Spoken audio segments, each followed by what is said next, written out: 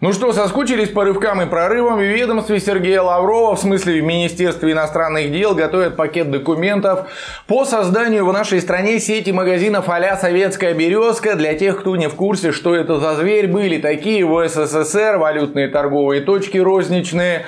Обслуживали иностранных туристов, дипломатов, высоких зарубежных гостей за инвалюту. Там все продавалось, выше сказал. Ну и, разумеется, ассортимент в этих магазинах разительно отличался от того, что был представлен в обычных гастрономах для простых советских граждан. Короче говоря, такие показушные лавки для чужаков. Мол, смотрите, как мы тут хорошо живем. Своих, правда, туда не пускали от слова совсем. Качественная еда, сигареты и спиртное, приличная одежда западных брендов, бытовая электроника. Все, что называлось дефицитом, было на прилавках березок. Сильное заявление.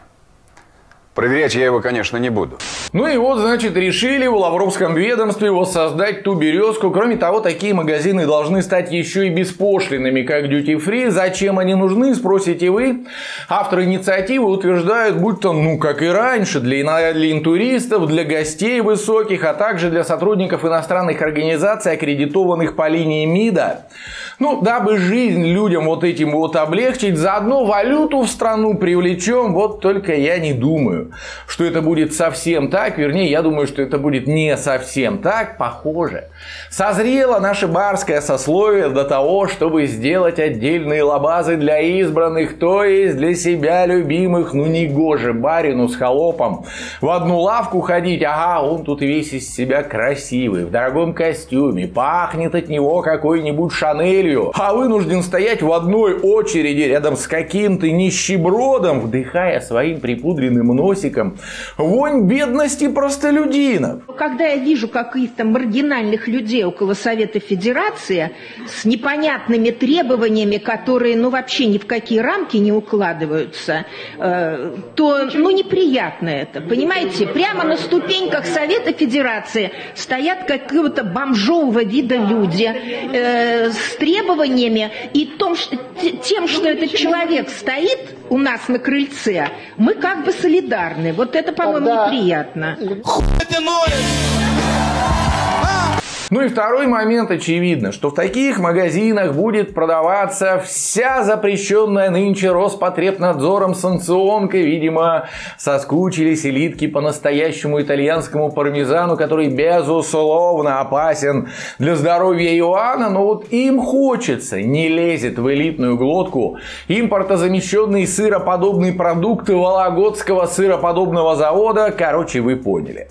Тебе, Ваня, патриотичные напитки из Черногории головки и прочие полезные вкусности из пятерочки, Лаврову, Захаровой и прочим ребятам, устрицы из, враж... из вражеской Лозанны, да мраморная говядина из недружественной Австралии, как вы хотели.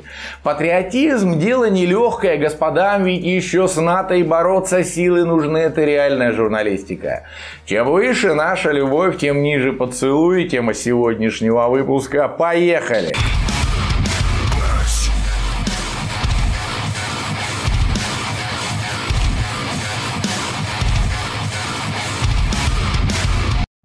Простым россиянам тем временем предложили изучать в школах историю и культуру Китая. Вы не ослышались. Китайскую историю и культуру нашим детям предлагается начать учить со школьной скамьи. С такой потрясающей инициативой выступил некто Бабаев из Российской Академии Наук. Ну, типа сейчас КНР является нашим стратегическим партнером. С ними необходимо выстраивать отношения на всех уровнях. Поэтому долой из учебной программы Великую Французскую революцию Ганса Кристиана Андерсона и, видимо, Ньютона про Будду пусть пусть дети читают. Про династию Цинь, ну и в молитвах Нихая Мао Цзэду напоминают. Дядя Петя, ты дурак?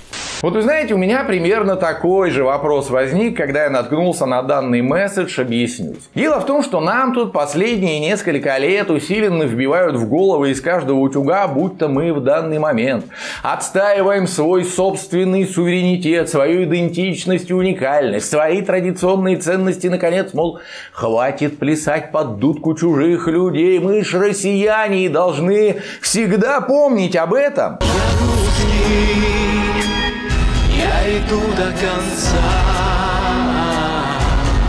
Мы россияне, мы Владимир Владимирович, мы с вами!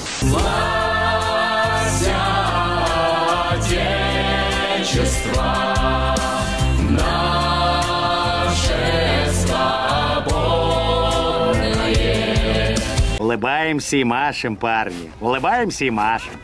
Ага, а потом на сцене появляется такой вот Бабаев и говорит, пущай наши дети китайскую культуру и историю в школах начинают изучать. Ух ты, простите меня, тупого. А как это вяжется с нашей самоидентичностью, с суверенитетом и традиционными ценностями, ну, о которых все время говорят.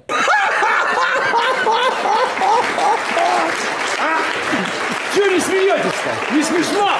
Не поняли, да? Это Россия. Где он, этот суверенитет, за который мы так ратуем? Сперва экономику на откуп китайца модули 15 лет болтовни про импортозамещение и необходимость слезть с нефтяной иглы закончились ничем. Купим все в Китае. Вот и весь итог этой долгоиграющей аферы, простите, реформы, конечно же, углеводороды теперь гоним туда же. А еще захламили весь свой рынок каким-то говном из Поднебесной, простите за слово, захламили, хотя тут не за что просить прощения, поскольку они нам действительно везут сюда конкретно конкретное низкопробное Г, как на помойку.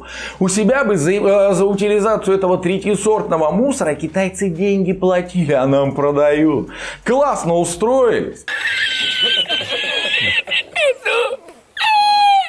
Потом зачем-то мы и вовсе себя к их юаню привязали, который, к слову, без их разрешения нельзя нигде использовать как расчетную валюту. То есть, по сути, все эти юани, полученные, например, за отгруженную нефть, в любую секунду могут превратиться в фантики, коими только стены оклеивать. Ну, захочет завтра Си Цзиньпинь Путина, скажем, нагнуть и все. Карета превратится в тыкву, одним нажатием кнопки заблокируют эти деньги, как два года назад заблокировали золотовалютные резервы ЦБ в Европе и США. Русские с китайцем братья навек. Именно в таком братском духе мы продолжим укреплять гармоничное российско-китайское партнерство. Да оно уже началось. Из-за риска попасть под вторичные санкции крупнейшие банки Китая отказываются проводить операции с российскими контрагентами, вследствие чего предприниматели, работающие по так называемому параллельному импорту, зависли просто. У них бизнес встал. Можно было бы, конечно, как в 90-е, таскать свободно конвертируемые доллары через границу черным налом и вести дела, ну, хотя бы так. Но наши чиновники ведь и тут постарались, когда придумали эту самую историю с расчетами в национальных валютах уже несколько раз. Об эту гениальную затею споткнулись. Сперва с индийскими рупиями горя хапнули, которые, как выяснилось, не то что не конвертируются ни во что, их даже из Индии вывести невозможно. Висит груша, нельзя скушать, вот они деньги, и вроде бы даже наши, но взять их мы не можем. Теперь с китайскими юанями в такую же кучу добра вляпаться можем. Ну просто всех переиграли. Ребята, а вы здесь все молодцы.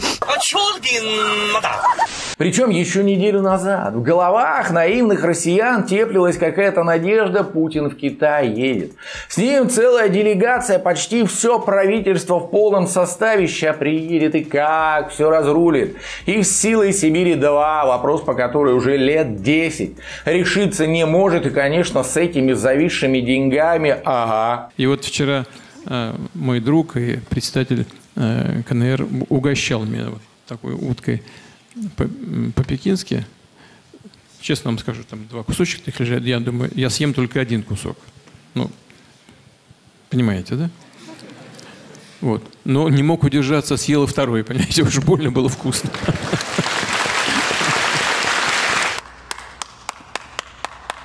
Зато мы теперь с вами пополнили лексикон новым словом тапунамбур. А если серьезно, ну бред же, конечно. Президент такой страны, как Россия, едет на встречу с лидером другого мощного государства в составе, как сказали бы пропагандисты, делегации беспрецедентного уровня значимости. Еще раз, там почти вся наша элита была. А зачем поехали-то? Топинамбур и горя, говяжьи хрящи толкать? Да ладно, серьезно. Уже говорил об этом, хочу повторить. Это э, большая глупость и огромная ошибка со стороны э, американских политических элит, потому что они сами себе наносят огромный ущерб, подрывают доверие к доллару и постепенно сворачивают, сворачивают э, состояние доллара как мировой расчетной валюты. Закат империи доллара – это вероятный сценарий?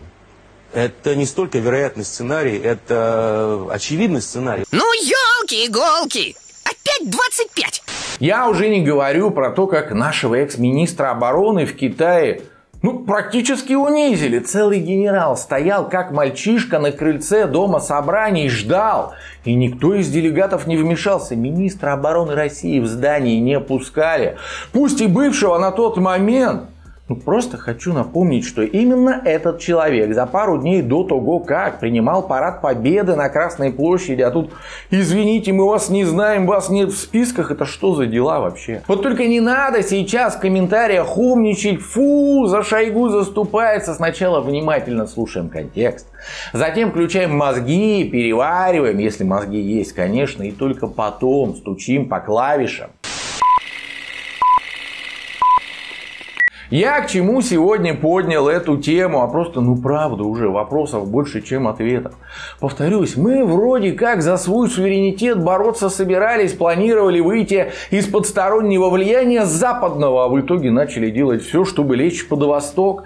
Причем лечь наглухо, дабы уже не выбраться никогда из-под того каблука еще раз рынок и все более-менее лакомые куски, которые могли бы стать основой для независимости, для строительства какого-то прекрасного будущего, азиатам практически подарили. На финансы их почти переключились. Теперь вот с малолетства давайте нашим соотечественникам в башку их культуру вколачивать. Дальше что?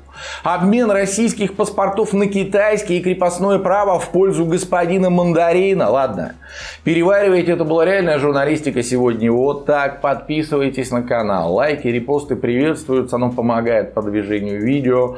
В соцсетях тоже жду, друзья, добавляйтесь, темы предлагайте, поднимем, обсудим. Пока-пока!